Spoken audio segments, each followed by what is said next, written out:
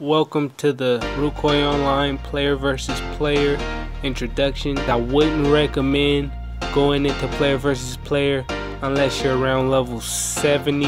Any lower, even on accident, you could be killed in one hit. Player versus player begins at the level 65 zombie. Are these X's that you see on the ground? Uh, one X per tile and two lines well if you step on those X's or cross over those X's that's where player versus player begins. And in between these X's is a safe zone. If you step out into the player versus player and attack another player an innocent player you will not be able to cross back into the safe zone. The more players you kill the more bounty or gold that you will drop when you yourself die there is a chance for you not to die even after you're black skull. You'll just have to wait out the timer.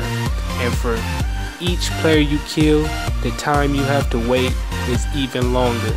So you could be waiting an hour in the player versus player zone waiting for your skull to disappear. You pretty much have to find a hiding spot and wait your skull timer out. If you don't plan on attacking anybody at all, Make sure your two swords are always gray, never yellow, never red. That's all for this video. Peace.